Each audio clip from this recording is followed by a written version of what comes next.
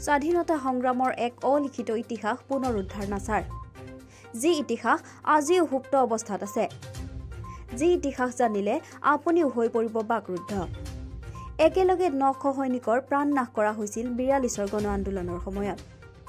বাগৰুৱা হৈ ব্ৰিটিছ সৈনিক কঢ়িয়াই অনা এখন ৰেল য'ত মৃত্যুমুখত পৰিছিল নশজনতকৈ অধিক ব্ৰিটিছ সৈনিক। সংগ্ৰামী ইতিহাসৰ নজিৰবিহীন এই ইতিহাস আজিও মুখে মুখে প্ৰচলিত। এঘাৰজন লোকৰ প্ৰচেষ্টাত গঠন হোৱা মৃত্যু বাহিনীয়ে সংঘটিত কৰিছিল এই ঘটনা। কিন্তু এই ঘটনা সংক্ৰান্তত নিমাত ইতিহাস নিমাত চৰকাৰী পক্ষ নিমাত ৰাজহুৱা কৰ্মী। নিমাত বৰ্বৰ বক্তৃতাৰ ফুলজাৰি মৰা সমাজকৰ্মী আৰু ৰাজনৈতিক নেতাসকল। পিছে ক'ত সংঘটিত হৈছিল এনে নজিৰবিহীন ঘটনা? সবিশেষ জানিবলৈ চাওক আমাৰ এই বিশেষ প্ৰতিবেদন। ঊনৈছশ বিয়াল্লিছ চনৰ স্বাধীনতা আন্দোলনৰ ভৰপক সময়। অবিভক্ত কামৰূপ জিলাৰ ডিগাৰু আৰু পানীখাইটি অঞ্চলৰ ৰেল ষ্টেচনৰ মাজৰ মহঘুলিত বাগৰুৱা হৈছিল সাম্ৰাজ্যবাদী ব্ৰিটিছৰ সৈনিক কঢ়িওৱা এখন ৰেলগাড়ী।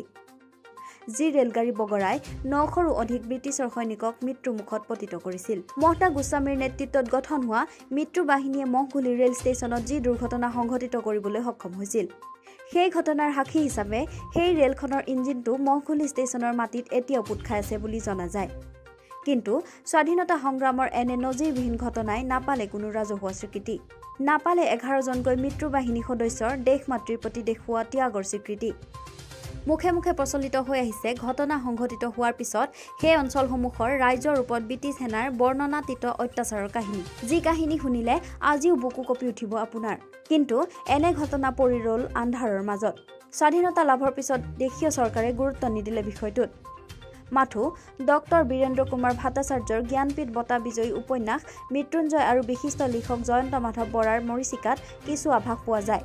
ইয়াৰ বাহিৰে স্বাধীনতা সংগ্ৰামৰ তেনে এটা অভিযান জনচক্ষুৰ আঁৰত পৰি ৰ'ল অৱহেলিত হৈ পৰিল এঘাৰজনকৈ মৃত্যু বাহিনীৰ সদস্যৰ লগতে সেই অঞ্চলৰ ৰাইজৰ ত্যাগৰ কাহিনী।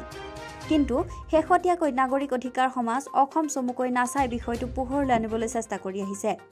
যাৰ বাবে ইতিমধ্যে নাছা তৰফৰ পৰা কেইবাটাও অনুষ্ঠান অনুষ্ঠিত কৰাৰ লগতে সেই অঞ্চলত পৰিভ্ৰমণ কৰি স্থানীয় ৰাইজক সচেতন কৰি বিষয়টো চৰকাৰৰ দৃষ্টিগোচৰ কৰিবলৈ চেষ্টা কৰি আহিছে। ইয়াৰ উপৰিও অহা চৌবিছ নৱেম্বৰত নাছাৰ তৰফৰ পৰা উক্ত সুপ্ত ইতিহাসৰ এখন স্মৃতিচাৰণ সভাৰ আয়োজন কৰা হৈছে সেই স্থানত। সেই উপলক্ষে যোৱা সাতাইছ অক্টোবৰ তাৰিখে নাছাৰ এখন কাৰ্যকৰী সভা অনুষ্ঠিত হয় চানমাৰীস্থিত নাছাৰ কাৰ্যালয়ত। কাৰ্যকৰী সভাত নাছাৰ কেইগৰাকী বিষয়ববীয়া উপস্থিতিত স্মৃতিচাৰণ সভা অনুষ্ঠিত কৰি অসম তথা ভাৰতত জনতাৰ মাজলৈ মহঘুলি ঘটনা লৈ যোৱাৰ ক্ষেত্ৰত ল'ব লগা কৰ্মৰাজিৰ বিষত আলোচনা কৰা হয়। লগতে উক্ত ঘটনাৰ সংক্ৰান্তত নাচাই চৌবিছ নৱেম্বৰত স্মৃতিচাৰণ সভাত প্ৰকাশ পাব লগা গ্ৰন্থৰ সম্পৰ্কেও আলোচনা আগবঢ়ায়। উল্লেখযোগ্য যে উক্ত গ্ৰন্থখন অসমীয়া আৰু ইংৰাজীত প্ৰকাশ কৰা হ'ব। উল্লেখযোগ্য যে মহগুলি ঘটনাৰ স্মৃতিচাৰণ সভা সাফল্যমণ্ডিত কৰি তোলাৰ ক্ষেত্ৰত নাগৰিকৰ অধিকাৰ সমাজ অসম চমুকৈ নাছাৰ লগত সহযোগ কৰি নাছাৰ প্ৰচেষ্টাত গঠন হোৱা মহগুলি ইতিহাস সুৰক্ষা সমিতিয়ে।